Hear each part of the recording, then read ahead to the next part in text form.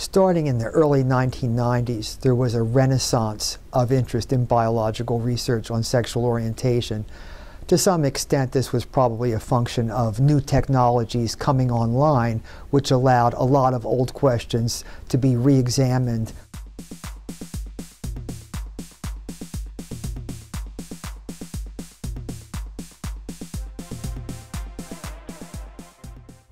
At this point, people who try to claim that there is no evidence at all for biological influences on sexual orientation are simply th saying things for which there is no basis in fact. The cumulative evidence, which has been building since about the early 1990s, has all pointed in the direction of some kind of biological influence on sexual orientation.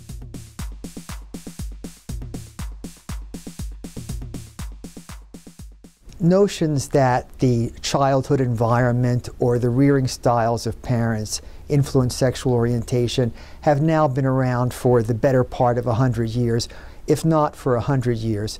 This is a very long time that people have had to bring forward hard data that would persuade everybody that there is at least some contribution of early family environment. And yet, in all these decades, nobody has come forward with any hard data that is proof that there is, in fact, a positive contribution of family environment.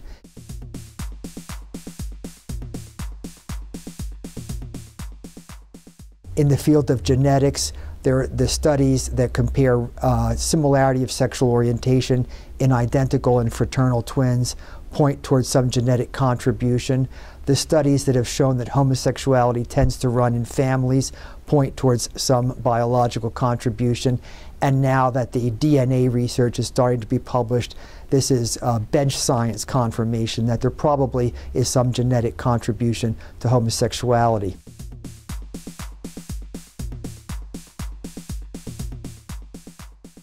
Similarly, there are uh, some, some kinds of research that bear on hormonal explanations, in particular, research that now pretty reliably indicates masculinized finger length ratios in lesbians, points towards some kind of prenatal event. Uh, that is associated with homosexuality and argues that the homosexuality itself probably also has prenatal origins. And the work that I've been doing which is uh, work on older brothers and homosexuality, is also beginning to point towards some kind of prenatal congenital influence on sexual orientation. The research has pretty consistently shown that uh, gay men tend to be very slightly shorter. A difference in height between gay and straight men per se would not be of much interest. It's only of interest in the sense that it's an indirect marker that whatever happens to cause homosexuality has some biological cause, some prenatal cause.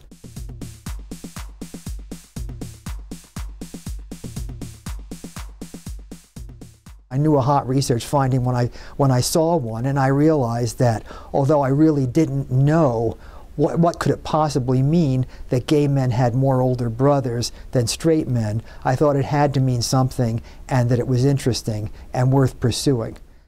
It took me a long time to formulate what I thought might be a reasonable theory of why older brothers increase the odds of homosexuality in later born males.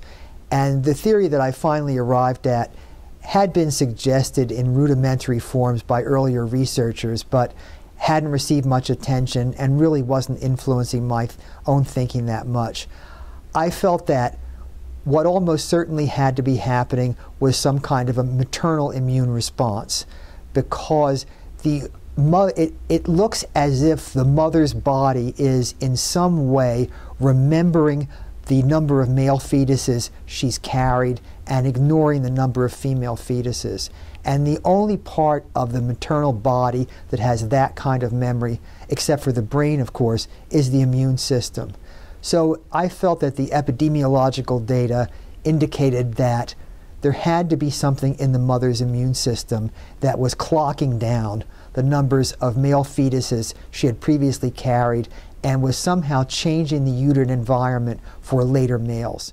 So the full blown theory goes like this we know that there are certain proteins on male cells that either have counterparts in females that are different or have no counterparts in females.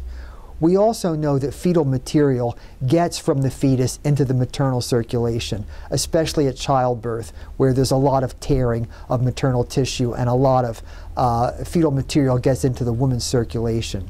So I hypothesized that tissue from a uh, cells or cell fragments from male fetus get into the mother's circulation. The mother perceives these male substances as foreign and develops an immune response to them in the form of antibodies. These antibodies now cross the placental barrier when she has another male fetus and affect the male fetus in such a way as to partially affect differentiation of the brain in a male typical fashion so that the part of the fetus's brain that controls sexual orientation is left in the default position of sexually preferring males rather than females. Many times when I've presented this research to audiences, somebody says to me, well, what about only children or, or gay guys who have uh, older sisters but no older brothers. How would your theory account for that? And the answer is my theory doesn't account for it, and I've never tried to account for it. I've been very explicit in my research to say that I think that the fraternal birth order effect only accounts for some proportion of gay men. And I did two studies to get at this uh, question. One study estimated the proportion of gay men who are gay because of older brothers at around 15%, and a second study, which used a different sample and a different statistical approach, estimated the proportion of gay men who are gay because of older brothers at around 29%. I don't think the exact percentages matter, but the take home message here is that the fraternal birth order effect accounts for a minority but not a trivial minority of gay men. So, firstborn gay men are obviously caused by the other 70 or 85% of factors that cause homosexuality, which could be uh, many different genes acting together or possibly hormone levels that fluctuate at just the right time in the right way.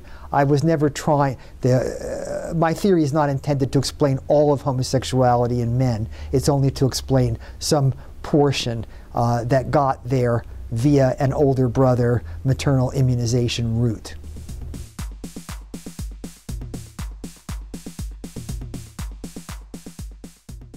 Even after the second or third time that I found results indicating this excess of older brothers in gay men, I still had a hard time with it because it just seemed so bizarre to me. So I, I kept doing the same study in effect over and over again. It was, you know, after I had done it five or six times, I was always looking for one more sample to look at it again because I needed a lot of subjective, subjectively convincing myself that something this odd could be true. Uh, so I, it wasn't like at some moment I said, aha, I've shown it. I, it. I, had to talk myself into believing it. And so there came a point at which people were, friends were kind of making fun of me, like I couldn't stop, that I, I kept looking for another sample to do, to show the same thing over again. And they would say to me like, you know, you've shown it already, you can stop now. But I always wanted to show it one more time because I, I thought something this odd requires an exceptional amount of data to believe it. So much more data have built up showing the relation between older brothers and homosexuality, and from so many different countries that people kind of have to say, uh, yes, this must be true. And uh, along with the, the data now seeming inevitable, people became more accepting of the idea that a maternal immune response was a plausible explanation. However, there still has not yet been a laboratory demonstration of this phenomenon, and in fact, the very first study that would approach this in a laboratory way is only now being conducted.